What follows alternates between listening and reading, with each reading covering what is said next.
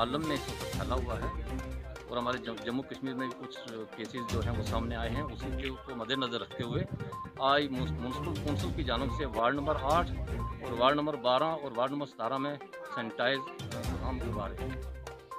आप देख रहे हैं, जिससे पूरी दुनिया आज परेशानी में है, पूरा वर्ल्ड परेशानी में है, उस कोरोना वायरस के खिलाफ आज जो हमने अपनी वार्ड में रिक्वेस्ट की थी ईओ साहब से और सेंट्री इंस्पेक्टर साहब से कि हमारा जो वार्ड का लैंड एरिया बहुत बड़ा है तो सबसे पहले इसमें स्टार्ट किया जाए।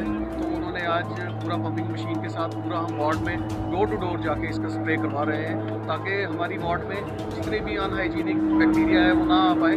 तो जिससे कि पूरी वार्ड में हम इस आने वाली जो दुनिया के ऊपर ये जो बीमारी फैल रही है, इस बीमारी से हम बचा पाएँ। साथ ही मैं आज एक बात ज़रूर कहूँगा कि जो दो दिन पहले आपने देखा, काबुल के अंदर, गुरुद्वारा साहब के अंदर जो फिदाइन हमला हुआ है उसकी निंदा करता हूँ, ताकि आप देखें कि आज जो सिख हेट में या हर कोई गुरुद्वारा पूरे वर्ल्ड के अंदर, इस बीमारी में जो लोग जुड़ रहे हैं, उनको लंगर खिला रहा है तो यहाँ पे इन मिलिटेंट्स को आप देखेंगे वो गुरुद्वारों गुरुद्वारों के ऊपर अटैक कर रहे हैं। ना कि वो इंसानियत में रह के इंसानों का भला कर रहे हैं।